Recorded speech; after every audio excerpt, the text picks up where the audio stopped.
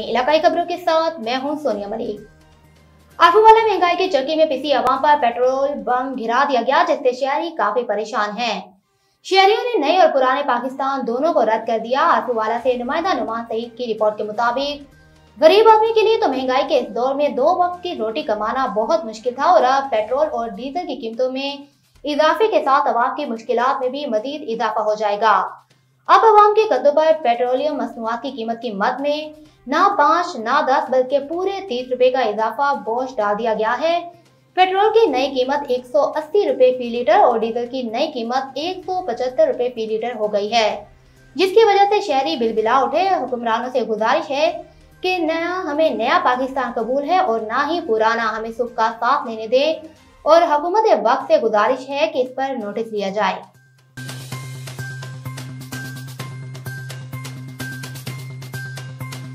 रुक करते हैं डिस्ट्रिक्ट उमरकोट का जहाँ बीसी न्यूज़ के नुमाइंदा बशीर अली की रिपोर्ट के मुताबिक सुबाई मुतसब आला तीन एजाज अली शाह की हदायत पर रीजनल डायरेक्टर मुतसब आला मीरपुर खास जुल्फकार अली ने सूर्या बादशाह कम्प्लेक्स हॉल में खुली कचहरी का इनका किया। इस मौके पर deputy commissioner Umarkot Tahir Ali Memon S S P Umarkot Mukhtar Ahmed assistant director मुतसब आला मीरपुर खास सजाद हुसैन समेत दीगर मुतल महकमों के अफसरान ने भी शिरकत की।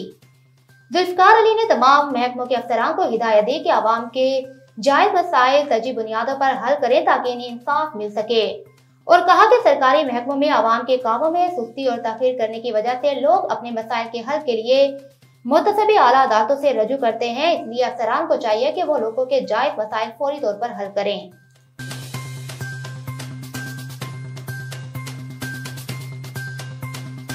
नादरीन आपको ब्रेकिंग न्यूज़ दिए चलते हैं। हमारे नुमाइंदा इमदाद कबीर की रिपोर्ट के मुताबिक फैसलाबाद की तहतीस समुद्री में गवर्नमेंट हाई स्कूल चार सौ तिरसठ गांवे में सालाना इम्तिहान के सिलसिले में इनाम की तकसीम की तकरीबा का इनका किया गया। तकरीब का आगाज़ तलावत कुरान पाक से हुआ, नाते खुआनी की गई। इसके बाद गवर्नमेंट हाई स्कूल के senior head master Nasir Iqbal ने स्कूल इंतजामिया और आने वाले मेहमानों के हमरा पोजीशन लेने वाले तलबा में इनाम तकसीम किए।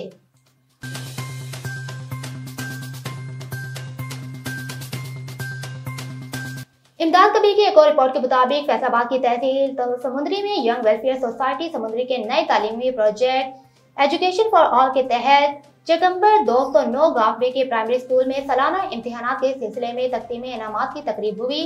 इस तकरीब में यंग वेलफेयर सोसाइटी समुद्री के सदर शेख हारून, अरशाद एडवोकेट समेत स्कूल के हेडमास्टर मोहम्मद जुल्फकार और स्कूल इंतजामिया की हमरा तकसीम इनाम के बाद गरीब बच्चों की मदद की मदद के लिए बच्चों में यूनिफॉर्म भी तकसीम किए गए।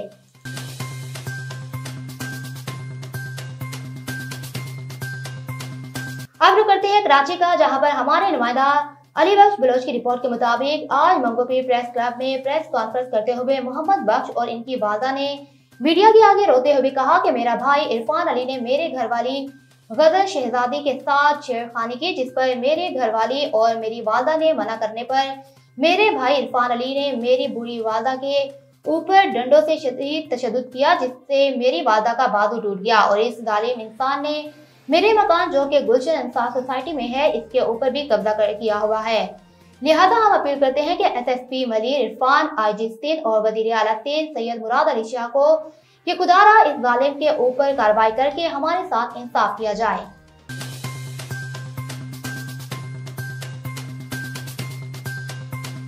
अब लोग करते हैं डेरा गांधी खां का जाबीसी न्यूज़ के ब्यूरो चीफ, गुलाम यासीन राही की रिपोर्ट के मुताबिक। थाना शाह सदर दीन और सिविल लाइन पुलिस की सीआईए पुलिस की हमरा जराय पेशा नासिर और मंशियात फरोशों के खिलाफ कार्रवाई। दौरान कार्रवाई मुलजिमान से भारी तादाद में नाजायज असलिया, जिसमें छत्तीस अदद पिस्टल, चार अदद क्लेशन पॉप एक अदद पीटर गन और हज़ारों गोलियाँ बरामद, जबकि एक और कार्रवाई में मंशियात फरोश से पंद्रह किलो चस बरामद करके मुलजिमान से मजीद तफ्तीश जारी है।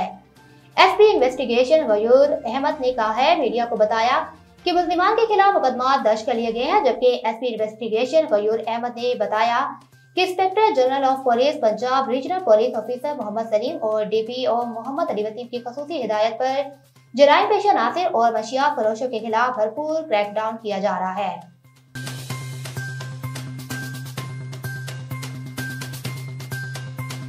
अब रुक करते हैं खैरपुर नौर शाह से एबीसी न्यूज़ के नुमाइंदा माजिद अली की रिपोर्ट के मुताबिक खैरपुर नौशाह के नवाई गाँव बेजाहू में गुजशत तीन माह से बिजली के पोल और ग्यारह हज़ार वोल्टेज की तारें गिरने की वजह से गाँव बेजाहू की बिजली मुअत्तर हो गई। बिजली न होने की वजह से गाँव के मकीन शदीद गर्मी में अजाब की ज़िंदगी गुजारने पर मजबूर। बिजली न होने पर शदीद गर्मी में गाँव के बच्चे, बड़े, बुज़ुर्ग और खातन को शदीद मुश्किल का सामना करना पड़ता है। गाँव के मकीनों ने आला हुकाम से नोटिस लेकर बिजली के पोल और गिरी तारों पर सीधी करने की और बिजली बहाल करने का मुतालबा किया है।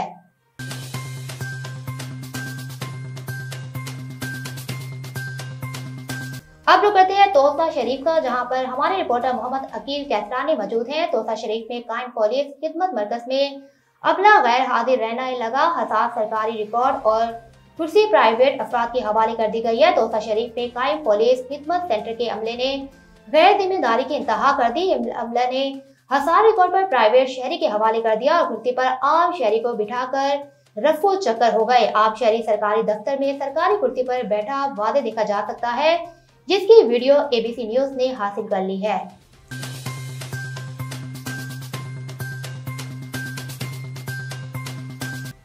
नादरीन, आखिर में खबर शामिल करते हैं बलोचिस्तान के इलाका खरान से एबीसी न्यूज़ के नुमाइंदा फिदारी की रिपोर्ट के मुताबिक, बलोचिस्तान में उनतीस मई को होने वाले बल्दियाती इंतबात के सिलसिले में कोयटा और लसबेला के अलावा सूबे भर में बल्दियाती इंतबात के हवाले से पोलिंग स्टाफ का अपने पोलिंग मटेरियल और सिक्योरिटी अमले के हमरा पोलिंग स्टेशन के लिए रवानगी का सिलसिला शुरू हो गया है।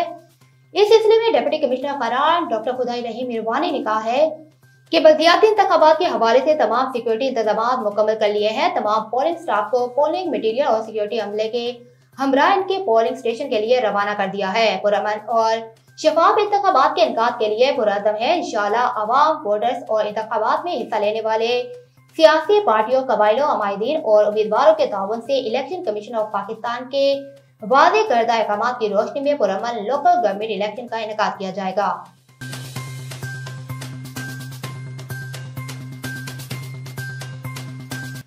नादिन लगाई खबरें आपने जानी, मजीद किसी भी तफसीत के लिए आप विज़िट कर सकते हैं हमारी official website A B C news dot com dot P K